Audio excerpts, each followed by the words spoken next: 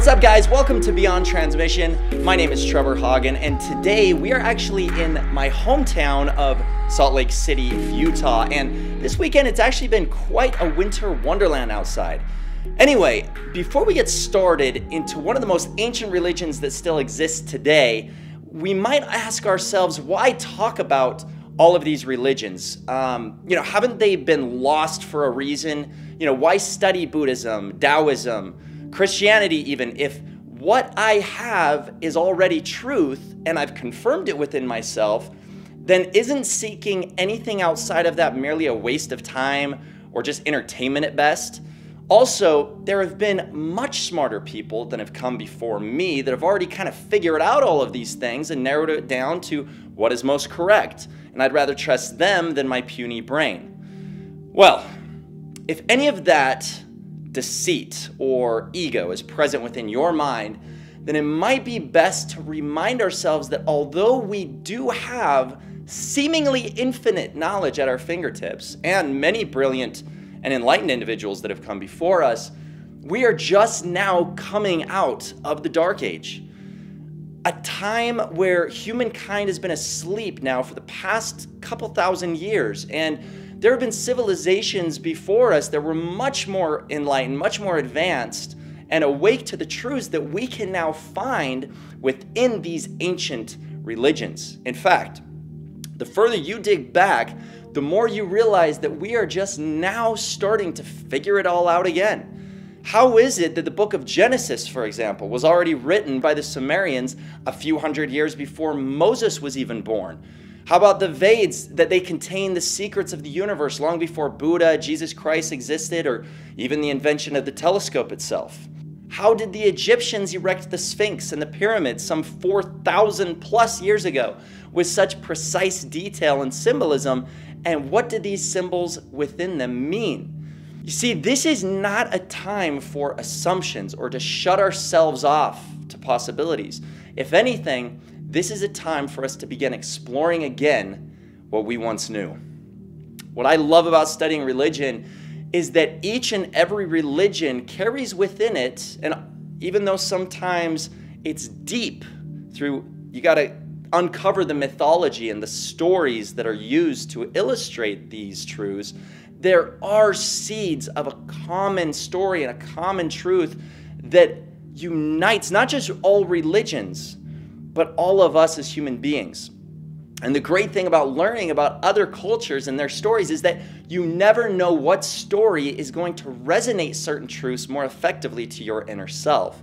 Maybe even some more effectively than those that you were born into. So, with that said, what the heck is Zoroastrianism? I first heard about Zoroastrianism when I read a short story by a Mormon author called A Short Stay in Hell, which is a super fun read. It's fiction, and although it doesn't go into too much uh, detail into uh, Zoroastrianism itself, it got me interested enough uh, to really look into the religion. And it turns out Zoroastrianism was founded 3,500 years ago in the Bronze Age by an Iranian prophet by the name of Zoroaster. And it was actually one of the very first movements away from polytheism to monotheism. And it's thought to have paved the way for modern day Judaism, Christianity, and Islam. So, in other words, prior to Zoroaster, most people believed in worshiping multiple gods instead of one supreme being. And now, today, there are less than 200,000 existing members of this dying religion, and they mostly reside in India and Iran. But it's crazy to think that this movement began over a thousand years before Buddha, before Jesus Christ, but the teachings are very familiar. And thus we see belief cycles that ripple throughout religious history.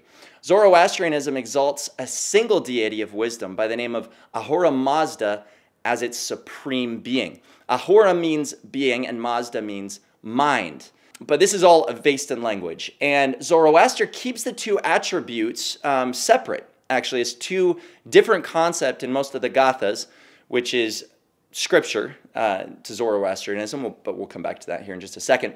And it also consciously uses a masculine word for one concept and, and a feminine for the other, as if to distract from an anthropomorphism of Ahura Mazda's divinity and also the androgynous nature of God. To dive a little bit deeper on that, anthropomorphism means the idea that God is limited to one physical body exactly like us, and androgynous like the word Elohim for God. And Elohim's definition being masculine, El, feminine, O, and Im implying that it's also plural. So multiple female and male energies, you could say, um, or deities that exist in one supreme power. What makes Zoroastrianism so unique, though, is that it combined cosmogonic dualism with eschatological monotheism. What does that mean? Well, let me put it this way.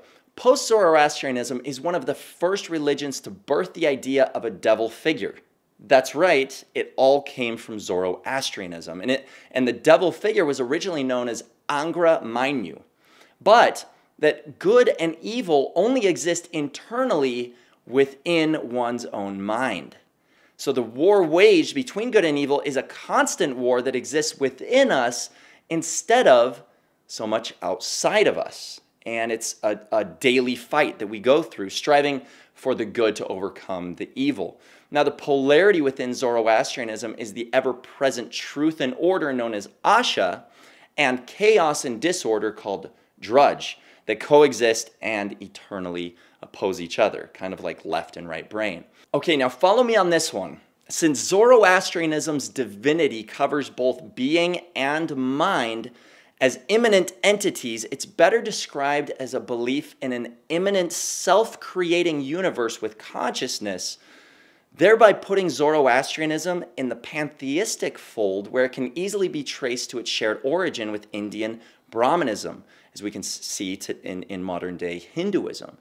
Now, the most important texts of the religion are those of the Avesta, which include the writings of Zoroaster, known as the Gathas, that we talked about earlier, which are enigmatic poems or hymns that define the religion's precepts in Scripture.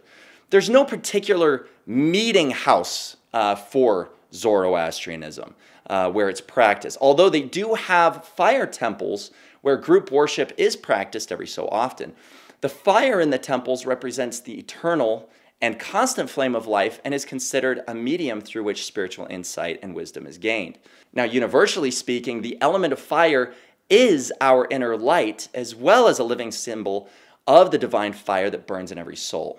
Again, so many truths that are that are woven and emphasized in different ways through so many different religions. In Zoroastrianism, the purpose of life is to be among those who renew the world, to make the world progress towards perfection.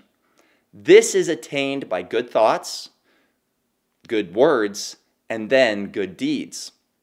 And realizing that by taking good action, good rewards naturally flow back to you. Man, there's just so much commonality that we can see here, both in Western religion and Eastern religion, that stemmed from these ideas. Another interesting fact about Zoroastrianism is the way that they handle their dead. Instead of a traditional burial or cremation, they instead prefer to leave their bodies out in the open desert to be consumed by the fowls of the air. This is supposedly a physical way of separating the decay from creation itself. Now, as I mentioned before, this is a religion facing distinction. And mostly because of the precepts it teaches go against any form of growth. And in fact, it's a miracle to me that it even exists today, since you actually cannot be converted to Zoroastrianism. You can't decide to convert and get baptized, for example, and now you're part of the religion. You are only, you're either born into it or not. And those that are born into it are commanded to only marry others within the same religion. So you could see how this could stint growth. If they marry outside of religion, they're actually no longer considered to be part of it, and their families and friends within the religion um, treat them as an outcast.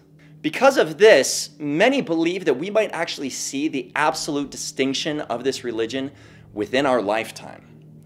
Now, Zoroaster's ideas of ethical monotheism, heaven, hell, resurrection, and even the Messiah figure were once so expansive and so popular.